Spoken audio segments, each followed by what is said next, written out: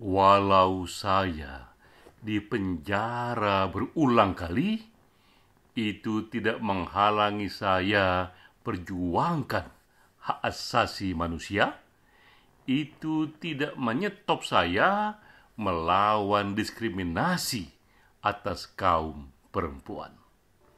Demikianlah pernyataan yang sering diulang-ulang oleh Narges Muhammadi pejuang dari Iran yang kini di tahun 2023 mendapatkan hadiah Nobel untuk perdamaian.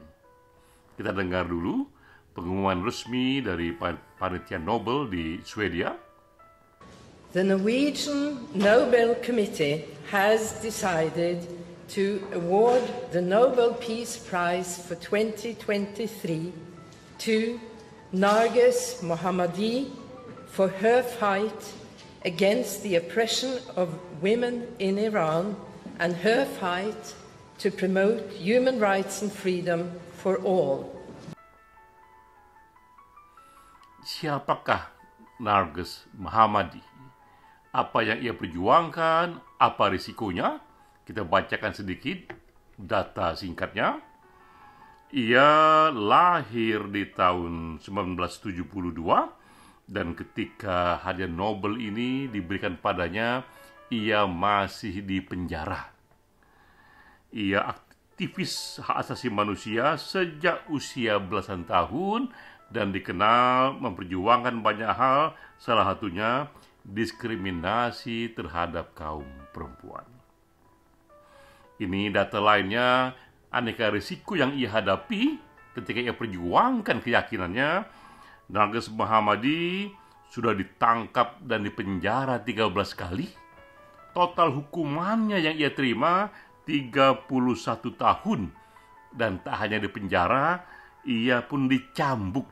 151 kali ia dicambuk dan suami serta anaknya pun akhirnya terpaksa hidup terpisah darinya hidup di negara lain.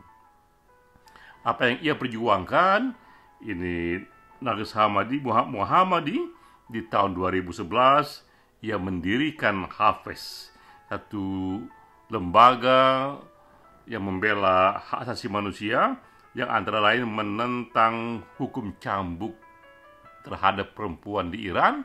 Mengapa seorang wanita dicambuk? Ada banyak sebabnya. Antara lain pertama pelanggaran dalam cara berpakaian misalnya yang tidak memakai jilbab itu pun bisa membuatnya dicambuk. Kedua juga seks di luar nikah. Padahal kita tahu sekarang ini lifestyle mengenai seks juga sangat beragam sekali.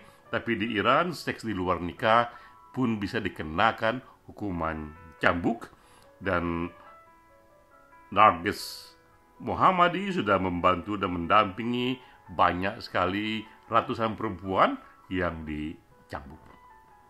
Pertanyaan kita, mengapakah mereka yang berjuang untuk hak asasi, membela sesama manusia, untuk hakikat manusia, malah dipenjara?